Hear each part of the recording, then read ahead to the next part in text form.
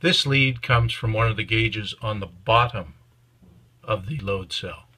It's connected to plus 5 and then to a point over here on the breadboard. This lead comes from one of the gauges on the top. I'm going to connect it to that point on the breadboard and back over to ground. As a result, that'll be two and a half volts because both of these resistances are the same at about 120 ohms. Very close to the same. I've hooked up the gauges to form a Wheatstone bridge. So this is one of the gauges that's on top and it's connected between positive and a point over here on the breadboard. This is one of the gauges from on the bottom and it's connected between that point on the breadboard and negative. So between the two of them they form a voltage divider and the voltage on this blue pin is about two and a half volts because these resistances that I've got connected, these strain gauges, are about equal. On the other side of the bridge, this lead is coming from the bottom. It's going from positive to the connection in between. And this lead is from the top. It's going from the connection in between down to ground. So this voltage here on the orange lead is also about two and a half volts.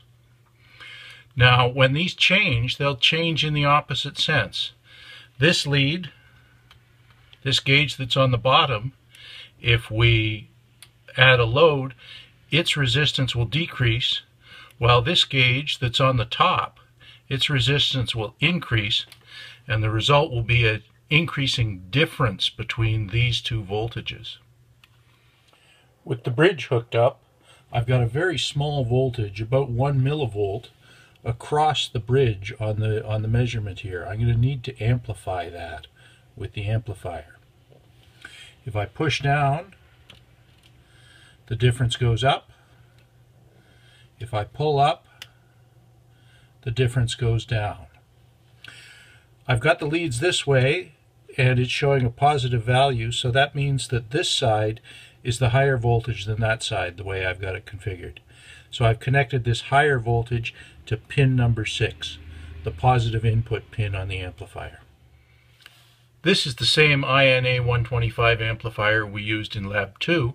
We're going to need it again in Lab 3.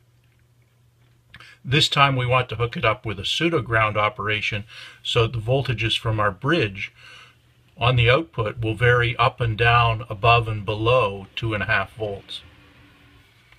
As before, the black wire is connecting pin 3 to ground for the power supply, and the red wires are connecting pins 1 and 2 to plus 5 for the power supply and to keep the amplifier from going to sleep. For pseudo ground operation, we get a 2.5 volt reference from pin 14 we have to connect that over through this white wire to pin 5 and to pin 4 on the other side of the uh, amplifier. This 220 ohm gain resistor connected between pins 8 and 9 sets the gain. So for 220 ohms, that gain turns out to be a factor of 277. As before, pin 10 and 11 are connected.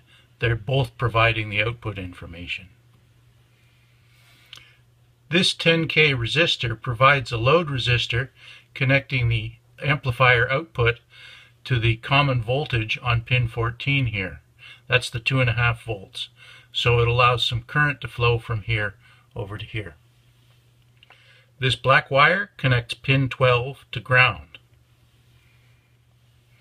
For recording data on the Arduino, I've got this green line connected to analog pin A0 and it's coming from my reference voltage at 2.5 volts. So that's going to give me a constant measurement of just what the reference voltage is. The yellow line is coming from pin 10, that's the amplifier output. So that's going to give me the information about how much input is being applied to the amplifier and what the output voltage is. The orange and blue wires here connect the bridge over to the amplifier. The orange one I've measured with my multimeter and I know it's a bigger voltage than the blue one. It's more positive. So it goes to pin 6, the positive input line. The blue one goes to pin 7, the negative input line. The output is attached to the amplifier output on the multimeter here and we see it's reading 2.8 volts DC. If I apply a load to the load cell, the voltage increases. If I let it off, it goes back to 2.8. And if I pull up on the load cell, the voltage decreases.